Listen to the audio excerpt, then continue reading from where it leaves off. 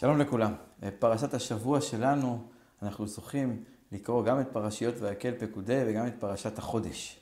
בפרשת החודש אנחנו נפגשים עם העובדה שהתורה מבקשת מאיתנו לזכור שחודש ניסן הוא ראש השנה, ראש לכל החודשים.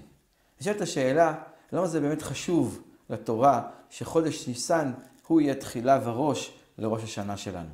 ואולי זה בא ללמד כל אחד ואחד מאיתנו כשאנחנו מסיימים שנה ופותחים שנה חדשה, לעתים אנחנו עלולים להגיע לאיזו מחשבה או הרגשה שהשנה שעברה נמשכת אל תוך השנה החדשה.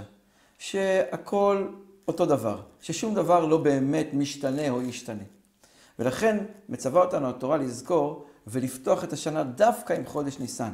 חודש שכל כולו נס, חודש שכל כולו יציאה מן המיצרים של קריאת ים סוף, של יציאת עם ישראל ממצרים אחרי 210 שנות שיעבוד. כדי שנזכור כשאנחנו פותחים שנה שהכל באמת אפשרי, שאפשר ולכן גם צריך לשנות ולהתחדש.